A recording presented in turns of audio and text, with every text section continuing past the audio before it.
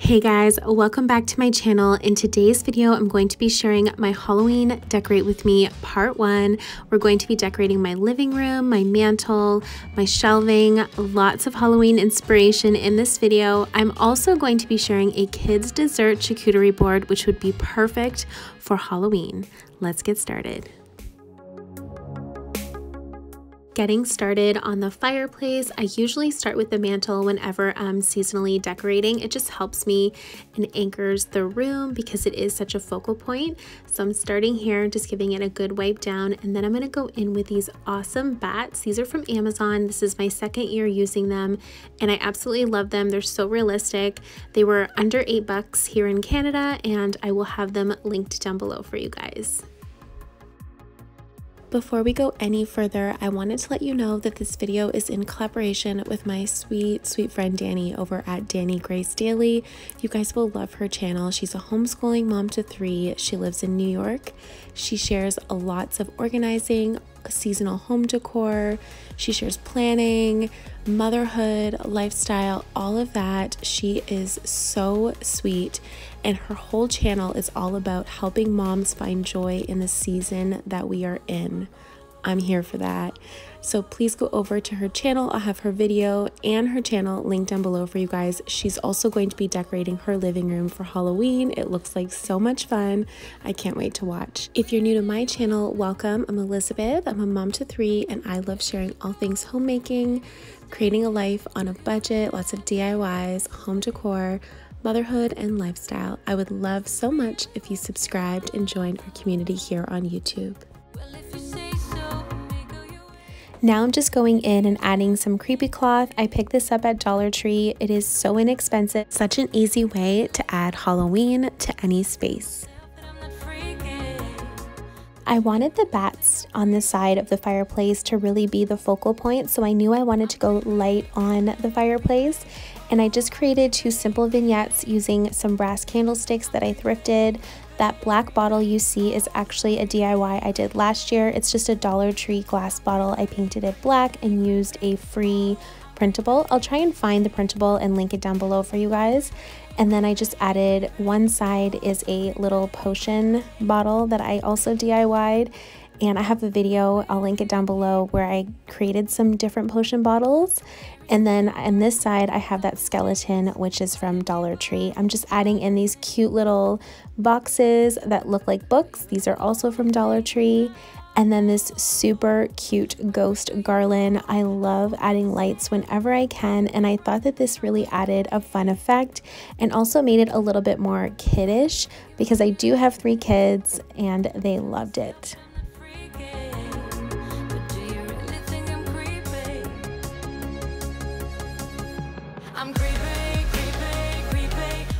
This little potion bottle actually says it's for spells, so I just took some old vintage books and took some pages, rolled them up and put them in here, and I think it was a super cute effect.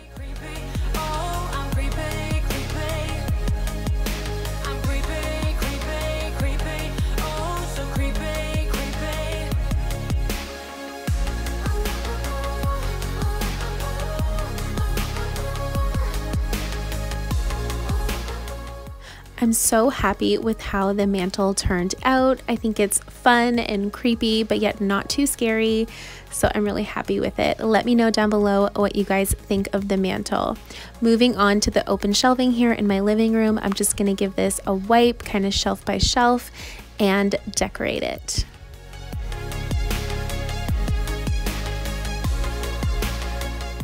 I also wanted to mention if Halloween is not your thing, I have an entire fall playlist that I will link down below for you guys.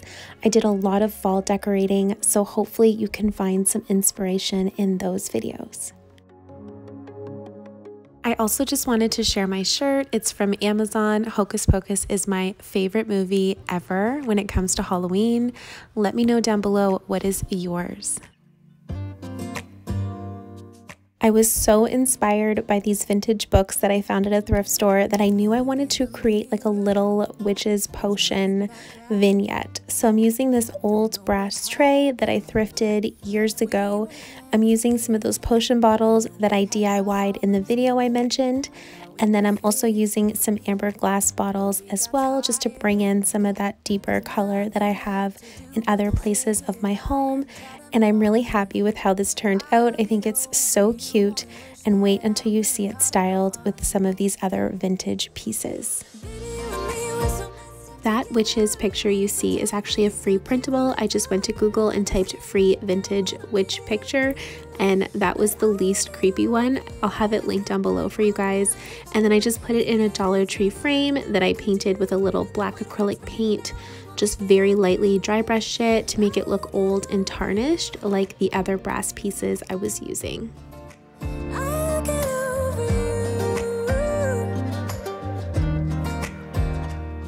Moving on to the third shelf, and I know I've mentioned it before, but the way I style shelving is I try and repeat things on each level. So if I have something black and something glass and then something brass or gold, I try and repeat it just so that it all looks cohesive.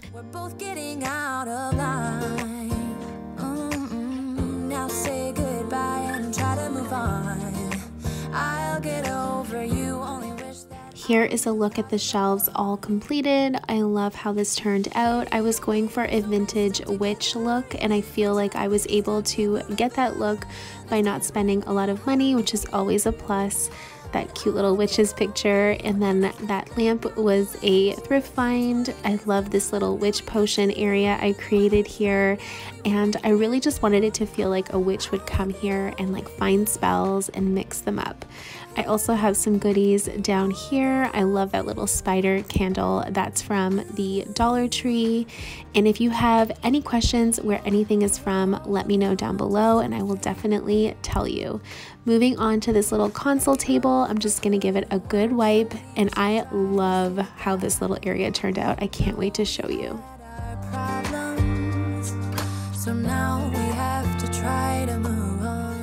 Okay, true story. This phone that I'm about to decorate was actually inspired by my son. The Haunted Mansion is one of our favorite rides at Disney World, and he created a little Haunted Mansion faux ride for my daughter and my son in the basement and like made it spooky for them. And this was one of his props, so I totally took this idea from him and I love it. It's just an old phone. This was actually my in laws from years ago.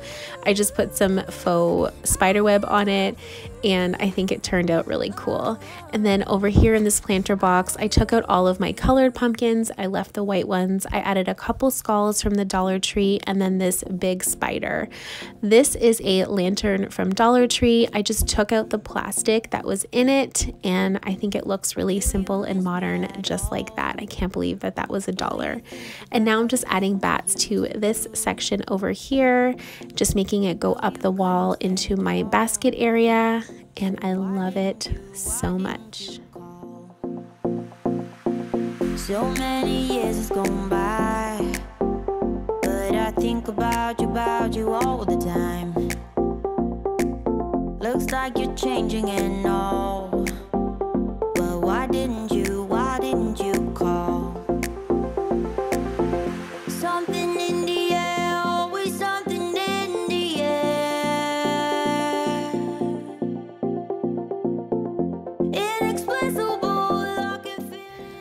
On to the couch, I just took off one of the fall pillows I had. It was the only one that was colored and I'm replacing it with this Boo pillow cover that I have from Amazon. I'll try and find it and link it down below for you guys. It's from a couple years ago and I'm just adding that to the couch and I think it's super cute and also just makes it a little bit more kid friendly.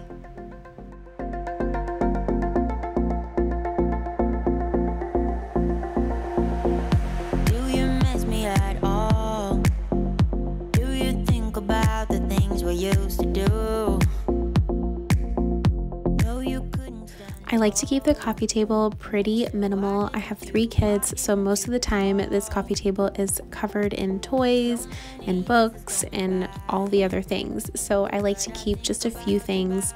And I'm using this piece of wood. I found it at the side of the road last year around Christmas time. And I'm just using that to anchor this little vignette that I created. I just put a couple bats. These are actually salt and pepper shakers. I put them under this cloche with some wired lights from Dollar Tree just to create that whimsical effect. And I also added a couple of those Amazon bats to the top of the cloche. I just thought that it was simple and cute. And again, anytime I can add lights, I will add them.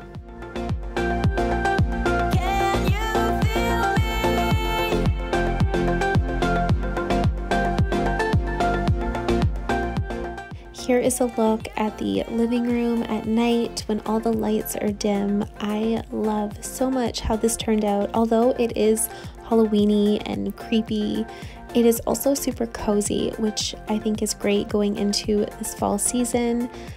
Let me know down below what your favorite area was that I decorated today. And now let's switch things up and head into the kitchen and make the most delicious kids dessert charcuterie board.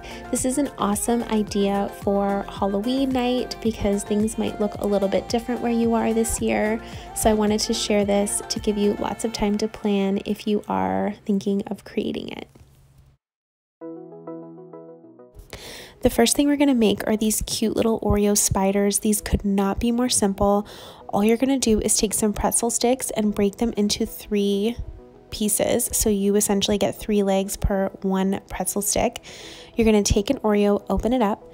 You're going to press four, so like the four legs, into that Oreo. Then you're going to take another Oreo, open it up, and put the stuffing on top to create glue. Close it up. Add two edible eyes to the outside of the Oreo. I used caramel sauce to stick, and there you go. Cute little spiders.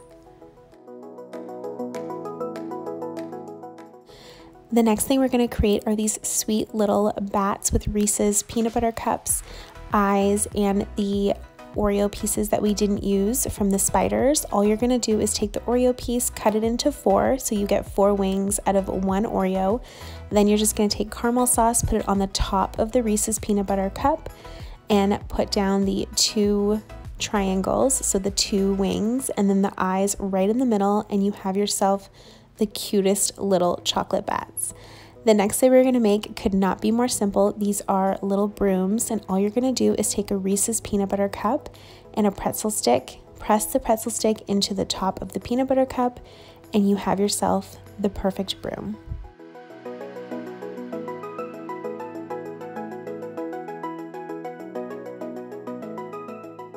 The next treat could not be more simple. You're just gonna need Oreos, some sprinkles, and then some caramel sauce.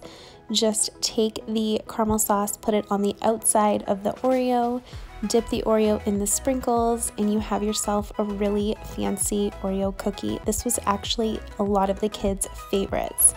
The next thing we're gonna make are these little ghosts. You're just gonna need some yogurt covered pretzels and some eyes dip them in some caramel sauce, and it honestly makes the perfect ghost. The last treat I'm to share with you is so simple. You're just to need some chocolate covered cookies, some almond slices, and you're just going to use some caramel sauce to stick those to the top.